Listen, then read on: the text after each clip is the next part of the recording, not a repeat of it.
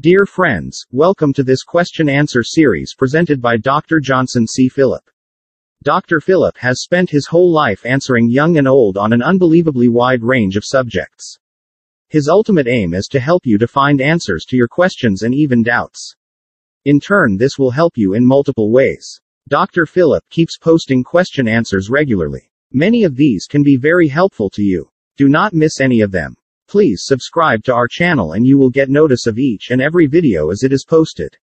It is easy to subscribe. Below this video you will see a subscribe icon. Please click it. Please also click to bell icon there to confirm your subscription. That is all. You will never miss any of these life transforming videos. God bless you. Welcome back to our study of uh, false cults. And uh, as I uh, reminded you, um, we are adding the word false because the English English word cult has multiple meanings, and uh, when we use the word cult, it should indicate exactly what we are aiming at. Last week, we started studying a passage, 1 Samuel chapter 13, verse 5. Please turn with me to 1 chapter 13, verse 5.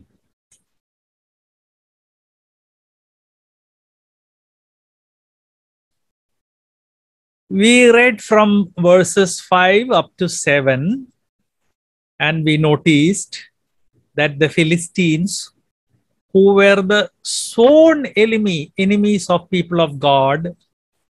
They came to fight with Israel. And in verse 6, verse 6, the English Bible says they were in a strait. Modern English, the modern English meaning is they were distressed that is amazing. A, group of people who are ruled by God Himself and to whom God promised that all the nations around them will be given to them, and for whom all the nations around them should be their slaves when the Philistines come. They are shivering they are afraid. And uh, that is where we are, or that is up to which we came last week. And then verse uh, the that verse continues to say that people hid themselves. They did hide themselves in caves. Isn't that surprising? For a group where God is the ruler and where God has appointed a powerful king.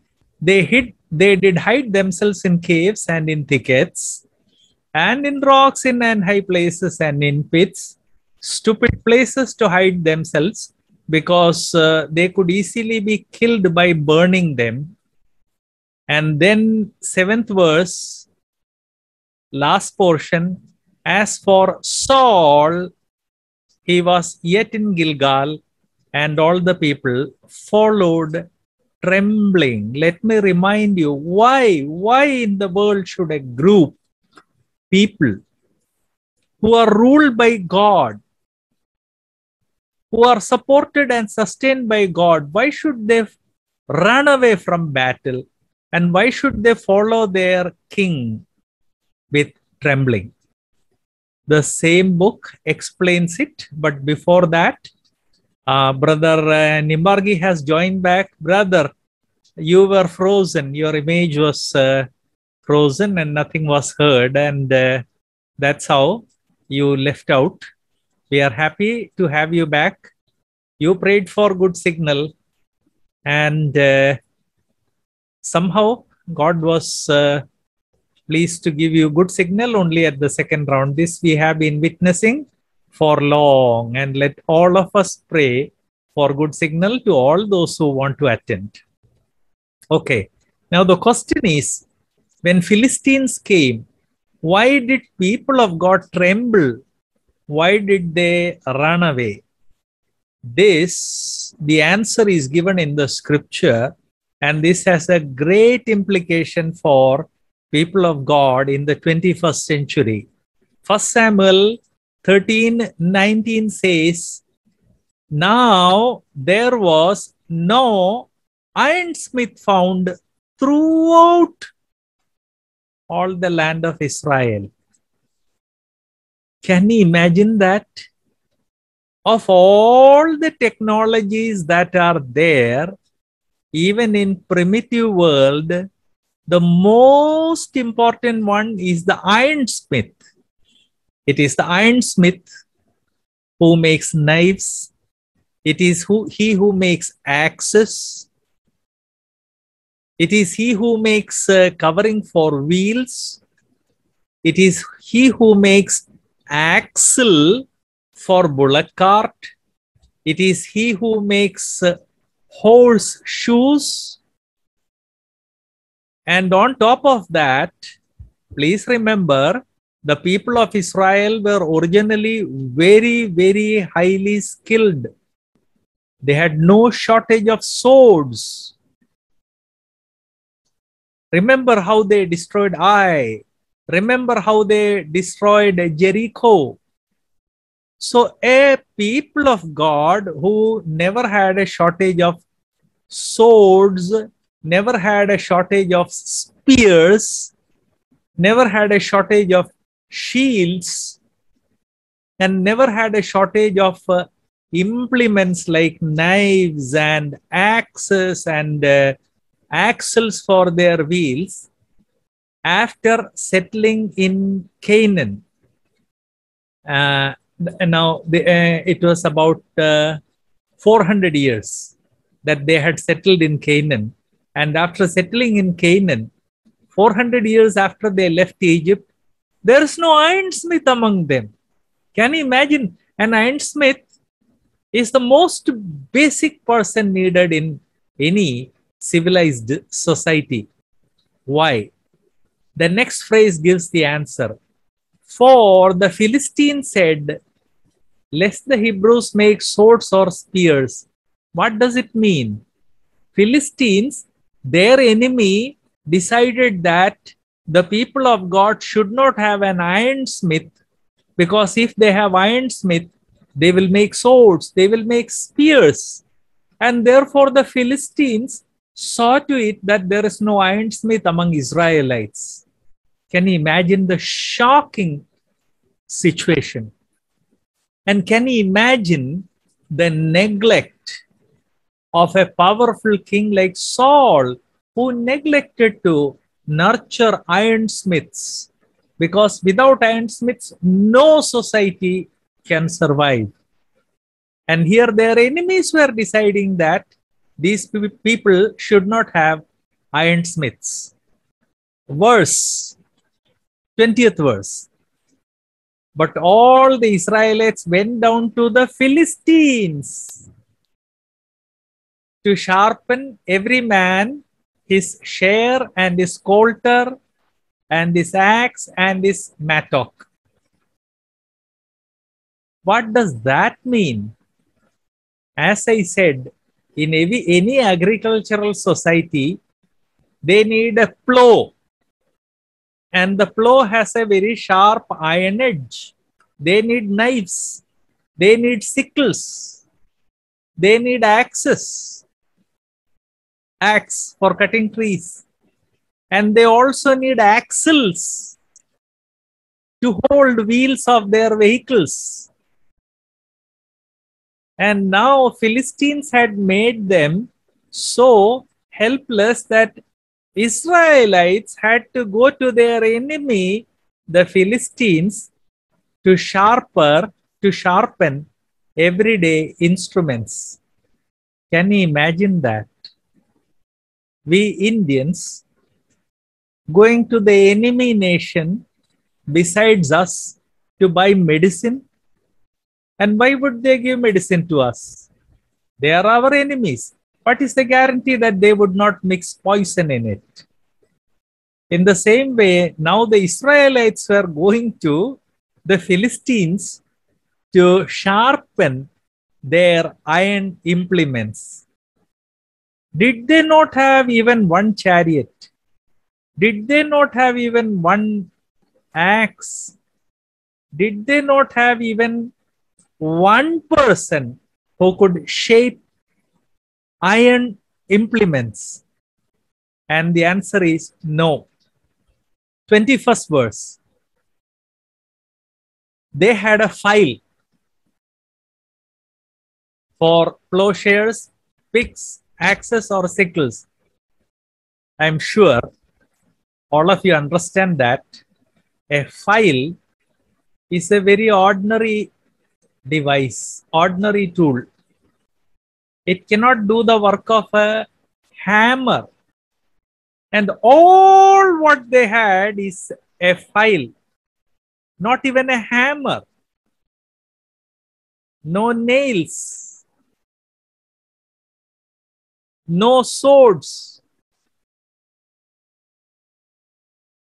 no spears, no shields, all because their enemies decided that these people should not have an ironsmith.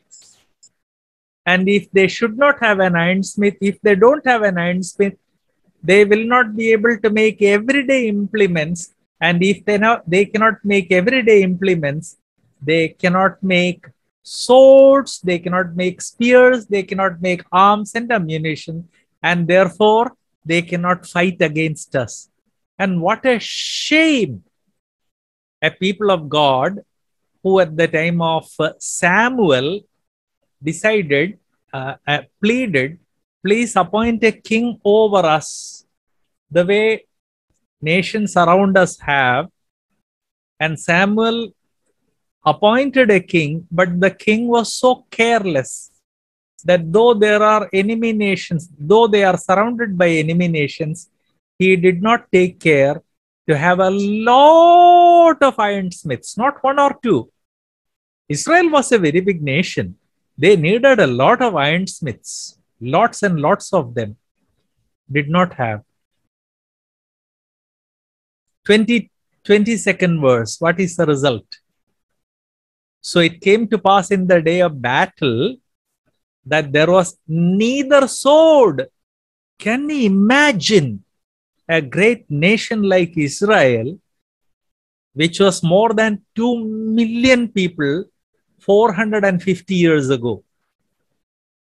450 years ago, they left Egypt. And now they were in their own motherland. And from 20 million, they might have become 50 or even 100 million in 450 years. And they were surrounded by enemies. All over they were surrounded. And during the time of uh, the judges, many of them went for battle. Yet by the time they had a king, like kings of the nations around them, they did not have a sword nor spear. How can a nation exist without a sword, without a spear? But this is the way the ruler had made them. The ruler himself had made the people helpless. So it came to pass, 22nd once again. So it came to pass in the day of battle that there was neither sword nor spear found in the hand of any of the people that were with Saul and Jonathan. Israel was a nation with a mighty army. They had conquered Ai, they had conquered Jericho, and then they kept on conquering lands in Canaan. And yet, 450 years after they left Egypt, when they become a monarchy ruled by a king, they did not have a sword, they did not have a spear. But with Saul and Jonathan, his son, where these found. Only Saul and Jonathan had swords and spears in their hands, which means Saul and Jonathan were not ignorant. They knew the value of sword. They knew the value of uh, spears. Yet they did not develop these implements. They allowed the ironsmiths to perish.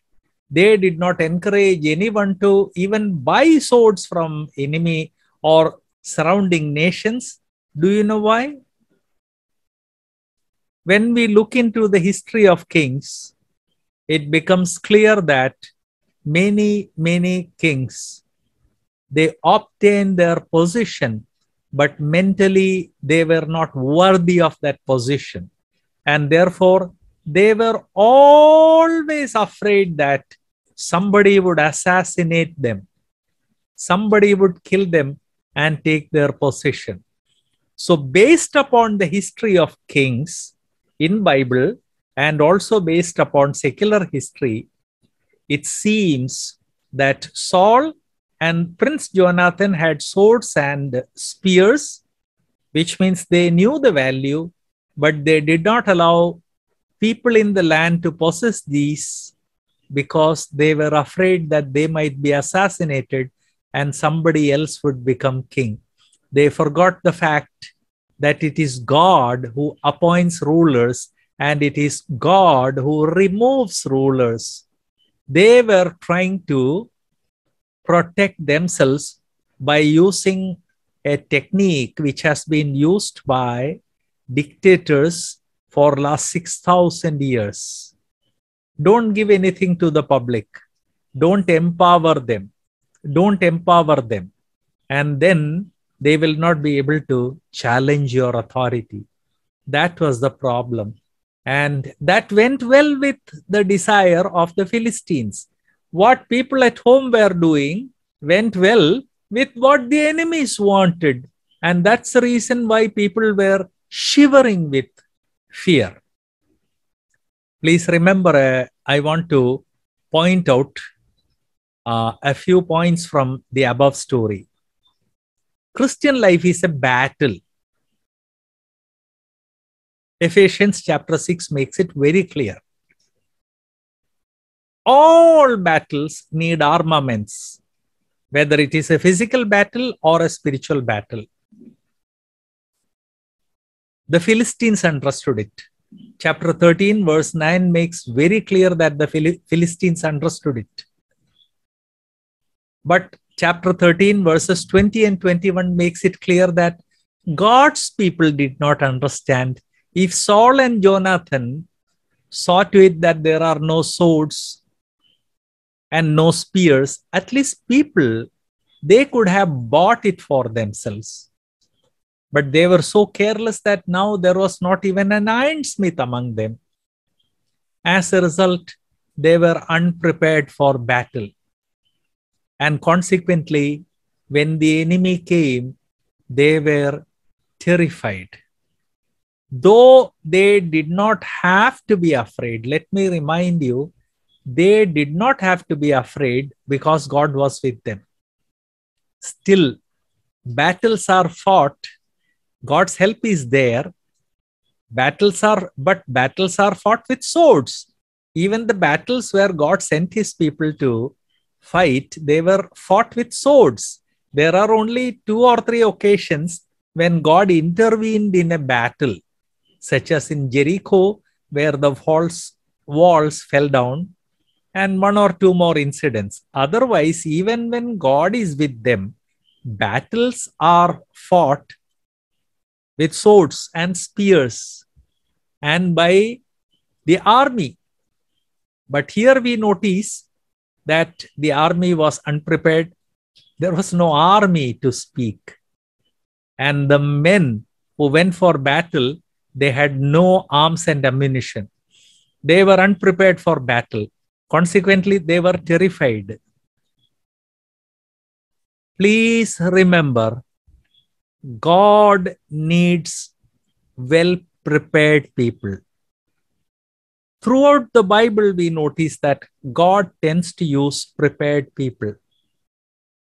This is emphasized repeatedly in the Old and the New Testament that God needs people who are prepared for their call. Now, I want to emphasize that during the church age, the oversight of the church, the elders, evangelists, teachers, writers, counselors, Sunday school teachers, fathers, mothers are responsible for equipping others. Fathers and mothers have to equip their children. But in that process, their impact, impact might become broader. In a church, there are elders, evangelists, and teachers. But within local church, we also see writers and counselors and Sunday school teachers. They also have this responsibility to equip people. However, when the leadership loses vision, vision about what? When the leadership loses vision about their long term goal, the result is disaster. Whether it is secular leadership or spiritual leadership, when it loses vision, long term goal, when they, then they don't remember long term goals, they are interested only in the short term goals, and the result is the disaster. Saul had a sword, Jonathan had a sword, they also had spears, but they did not think about long term protection of the nation. They knew the, they knew about the importance of swords, spears in protection. And once again, I want to remind you, brothers and sisters, Israel was technically a very highly developed nation. They had come out of Egypt, which was technologically highly developed. And all that technology they brought to Canaan. And technology keeps on developing and improving. Yet, 450 years after that, we notice that in this highly advanced nation, there was not even an iron smith. That is terrible. All what was left was file, using to file something.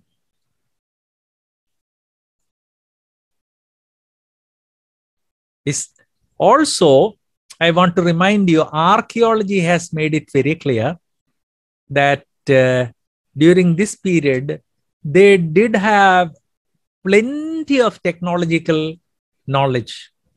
They could easily have made arms and ammunition, uh, but probably it is the king who suppressed. The enemy wanted to suppress, the king also suppressed it. The neglect by leadership and the cunning tactics of the enemies question is why would rulers do such foolish things? As i said before humans in nature always thinks in a selfish manner. Me my rule my son my son's rule. And therefore we want everything easy for us and we want to make it difficult for us. There is no so there is no preparation but no preparation guarantees that our enemy will realize that we are weak and they will come to attack us. It also guarantees that we will fail. That is why the people of God who are ruled by the sovereign God, they ran away from the face of Philistines. This is the background for biblical background for studying cults. False cults are indulging in a spiritual battle. Whether you know it or not, whether you are ready or not, they are preparing for battle. And they will keep on attacking you. They will keep on attacking your children they will keep on attacking any Christian whom they can find. And please remember that of all the people who were attacking Christians, now two very powerful enemies have joined. One, the atheists. They have become very, very, very powerful. And one, the Muslims. Very, very powerful. And therefore, if we want our children not to run away from battle, and if we want them to stand strong, we have to teach them to use arms and ammunition. And for that, we should have arms and ammunition.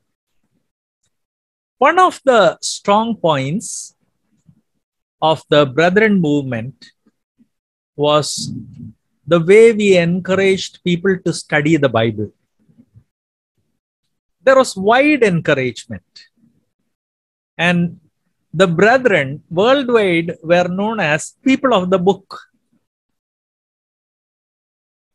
Non brethren people were afraid to argue with brethren people. But that situation has changed. Today, non brethren people are very easily able to argue against us.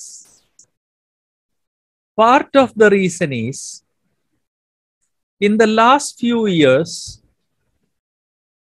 people, particularly people in teaching, they have given an idea to everyone that unless you go to a Bible school, you cannot understand the scripture. And unless you have a massive library, you cannot interpret the scripture. And this is something I have been telling you repeatedly, brothers. If somebody has a library, good and well. But a library is not necessary to understand the scripture. A library is not necessary to study the scripture. Bible school education is not necessary to understand or study the scripture. And please remember, a few of us, they have big libraries, but you will also have to remember that they have specialized in certain fields you see so many books behind me because I have specialized in several fields. And these are all books from those fields. You will see very few Bible commentaries. Uh, many of you may have got a misunderstanding that my back is crammed with Bible commentaries. No, no. There are a few here and there. Most of these are professional books. I do have commentaries. But once again, I want to remind you, my dear brothers and sisters, going to a Bible college, having a massive library is not the way we study the it is not necessary each one of us should once again bec- become a bible student and when we when each one of us once again become a Bible student, we will become people of the book. And once we become people of the book, others will find it difficult to attack us. Every week, every Wednesday, I have a Hindi class. Lord willing, tomorrow also I will have. And there we are studying how to study the Bible and I have repeatedly emphasized there that a Bible, a diary, and a pen is the primary tool you need to study the Bible. And I have shown it, I have demonstrated it to the audience that if you are devoted, if you are committed, then picking a Bible, picking a diary, picking a pen, and asking a few questions. Read a passage, ask a few questions, and there will be so much light, so much light, so much that you will not be able to manage it. That is the way God has word. God has created his word. But somehow a misunderstanding has crept among us that unless you go to Bible school and unless you own a library with a lot of commentaries, you cannot study the Bible. I repeatedly want to emphasize that is a false idea and this idea has destroyed two or three generations of the brethren who have not been studying their Bibles seriously. Of course, some of us also, by some of us, I mean some preachers, some of us also have confused people. Uh, some, of- some of the pulpit speakers, I have heard them saying repeatedly that uh, unless you have a big library, you cannot study and understand the scripture. Please remember, like Saul and Jonathan, they are trying to protect their territory. Oh, you cannot interpret the Bible. I went to the Bible school. I have a lot of commentaries. Uh, You also need to have this before you can do that. No. The answer is no, my dear brothers and sisters. Philistines are all around us. Please remember, Philistines are all around us. Who are the modern day Philistines? The Jehovah Witnesses, the Seventh day Adventists, even the Muslims and rationalists. Every day I get so many questions, so many from morning till night. And now that WhatsApp has become a convenient media medium, I get too many questions. Almost all those questions are based upon the confusion created by Muslims or rationalists or Jehovah Witnesses or by some other cult. So, this I want to emphasize that strategy is important. This is a battle, and in battle, strategy is important. And what is the first step of strategy? You should gather enough arms and ammunition in our spiritual battle. From the time the church age came the battles of our spiritual uh, the the arms and ammunition of our spiritual battle are the two-edged sword so we have to give due time to reading and studying this two-edged sword. Lord willing very soon in english classes also we will come to how to study the bible but that will be a little time before we reach that subject. But meanwhile, let me remind you, my dear brothers and sisters, pick up your Bible, make it a point to read it full at least once every year.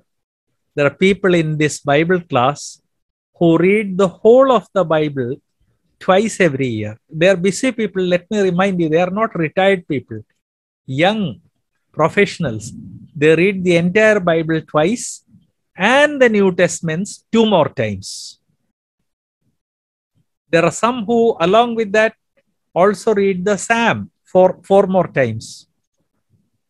Not impossible. Please make it a point to read the Bible regularly. If you read three chapters a day and five on Sundays, you will be able to finish reading the entire Bible in one year. Three chapters a day, five chapters on Sunday or if you read the bible with focus and concentration 15 minutes a day then the whole bible can be finished in less than reading can be finished in less than 90 hours that is 90 hours means 15 minutes a day so brothers and sisters we are surrounded by enemies start reading the bible and 15 minutes for bible that is a shame. It is God's word. So devote at least another 15 minutes to reread selected passages or whatever light comes to you through the Holy Spirit. As you read a passage, light will come. Maybe not initially, but gradually light will come to you. First Corinthians chapter 12 very clearly says that the light of the spirit is given to everyone. Illumination of the spirit is given to everyone. All believers whatever light comes to your mind please note it down. And gradually you would realize that yes yes i'm also i also belong to the people of the book because i have studied the scripture carefully. Bible diary pen. Let me emphasize it strategy is very important and the first strategy in your life should be to read the bible meditate upon it and also to note down whatever comes to your mind. Then, then comes how to take the equipment and go for battle. Please remember, just because you know the Bible, don't go and argue with any, any Muslim. I still know one person. Uh, his Muslim friend tried to convert him. And the Muslim said, listen, we are good friends. I know you are a Christian, you are a brethren, but please remember, present day brethren are not a match for Muslims. And you will lose your faith. But since we are very good friends, I do not want you to lose your faith. This is a real incident and that man's name was Abdul Jabbar. We became good friends. He himself told this story. But the Christian thought, hmm, I'm a brethren, I know everything. He argued with the Muslim, and the Muslim asked a few leading questions, and this brethren guy did not have an answer. So he went to his church and asked these questions to the elders, and the elders did not have answer. And instead of, with humility, saying, Brother, we don't know. Let us ask somebody else who knows it. Those elders, they rebuked him. You don't have faith. That is why you are asking such questions. What happened? It was not lack of faith, it was lack of knowledge. And he was hoping that the elders would help him, but they did not help him. Like Saul and Jonathan, the elders dealt with him. That brother became a backslider. This story was told to me approximately 20 years ago by Abdul Jabbar. And immediately called up the assembly in Ernakulam and asked about that person. And they said, yes, based upon some questions which Muslims asked him about the doctrine of Trinity, he became a backslider. So don't just rush into battle. In English, there is a saying that fools rush into places where angels are terrified to go. Don't rush into battle without preparation. And for preparation, all what I said is essential. And to the church leaders who are attending this program today, church leaders, seniors, parents, I want to remind you we have to teach our people how to resist these people who come against our faith. Without that, nothing can be done. Coming back to strategy, the first part of the strategy is to have arms and ammunition. That is, read the Bible, reflect upon the Bible, note down whatever illumination comes to you. The second round is strategy, actual battle strategy. In Malayalam, we call it Samaratandram. Uh, it is seen that many, many times people with large armies were defeated by smaller armies because leaders of the sm- smaller army had a better strategy. When we deal with false cults, strategy becomes very important. Let me explain. A thousand years ago, a thousand years ago, battles were fought face to face with swords, shields, spears, horses, and uh, also elephants in India gradually battles have changed. Instead of face to face battle, battle has now become indirect. And since battles are indirect, strategy has become extremely important. I hope all of you know that those who lead the army or air force or navy commanders they are given very thorough training in strategy it is arms and ammunition plus strategy which gives them the winning edge in the same way till a few years ago going with the sword going with the spear that was enough but just as human military strategy developed into a complex and highly developed science, in the same way, people who attack the Bible, they have also developed their strategy and refined it much. Today, when a Muslim comes to you, he will not say, Hey, Christians, you are all wrong. He will come and say, Sir, I have a doubt. I have a doubt. Uh, tell me about your doubt. He says, uh, How is it possible for three gods to be one? So you say there are not three gods, only one God. So he asks, Oh, is Jesus God? Yes. Is Father God? Yes. Is Holy Spirit God? Yes. So how many are there? Three persons. So don't you have three gods? They are so cunning. They come to us, Muslims particularly, they comes to us, come to us in the form of enquirers. Please remember 21st century battle with false cults is a battle of strategy. And since it is a battle of strategy, we have to prepare very carefully. And the primary need for this is for every assembly to become a Bible school. Every assembly should become a Bible school. And the elders should chalk out a syllabus.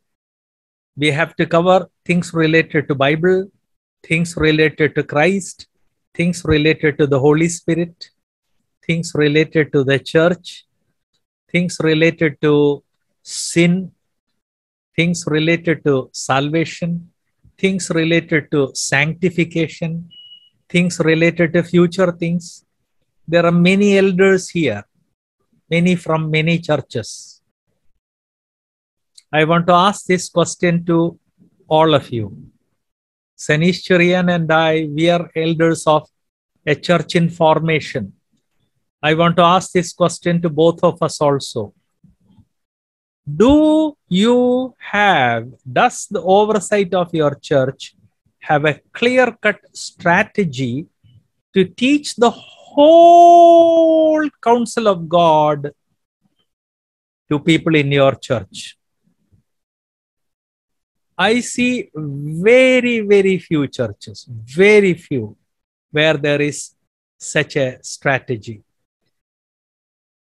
Maybe one in 50 or even one in 100, where they decide that this whole syllabus has to be covered.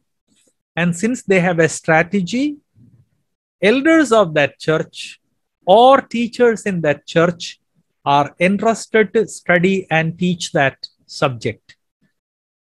I will never forget a church where I preached. This was in uh, 1984. 1981. I went for a few weeks to Singapore on scholarship to study Christian journalism. Saturday, Friday, they asked us to what kind of a church would you like to go? I said, if it is convenient, I would like to be dropped in a brethren church. They immediately called uh, an elder from one of the assemblies. He agreed to pick me up. It was basically a Singapore church, mostly people of Chinese origin, and very few Indians. They gave me 45 minutes. I completed my message as usual before time. And after the message was over, the elders they sat together discussing something. So, out of curiosity, I asked uh, the brothers, What is this meeting going on? They said, Brother, after every Sunday message, the elders discuss that message to see whether the person who delivered that message was well prepared and what portion of our syllabus he was able to cover. That is amazing. I found another similar church some years ago when I went for a short period of studies in counseling to USA. I attended Lakeside Bible Church where one of my cousins was an elder. And as we discussed, he told me that every that elders in that church are assigned topical messages based upon a certain syllabus and every Sunday evening, elders gather together to assess whether that person did justice to his subject. And if he did not do justice, it is told on his face that, brother, you failed to do your job. Our churches have to come to that state. Oversight of the church should realize that our people are totally helpless. Hey, you may say, Brother Johnson. That's not true. Come on. How many of our church members can explain the most fundamental doctrine of uh, the brethren? Oh, you may say, which is the most fundamental? The most fundamental doctrine of the brethren is justification by faith. How many brethren believers can explain that doctrine. So don't tell me that uh, no, our children, our congregation doesn't need instruction. They are in dire need of instruction. And the condition of brethren assemblies is no better than the condition today. Condition of brethren assemblies today is no better than condition of Israelites that we read. And that is reason why cults are able to take advantage and snatch away our young people. I thank God for enabling me to present all these things. I have one request. The passage which I read to you, 1 Samuel 13. Please, please read it once again with a diary and a pen and note down the illumination which the Lord gives you May the Lord help you. Dear friends, I am confident that you enjoyed listening to this question answer video by Dr. Johnson C. Philip. He would love to get your questions. Please post your questions in the comment box below this video and he will prepare a video reply for you. Please post only one question at a time, and make it as detailed as possible so that Dr. Philip has no problem in understanding exactly what you mean. Also, please encourage this ministry by subscribing to this channel. Below this video, there is a subscribe button. Please click it. Also please click the bell icon near it to complete the process of subscribing. Thank you very much for being such an encouragement to our channel.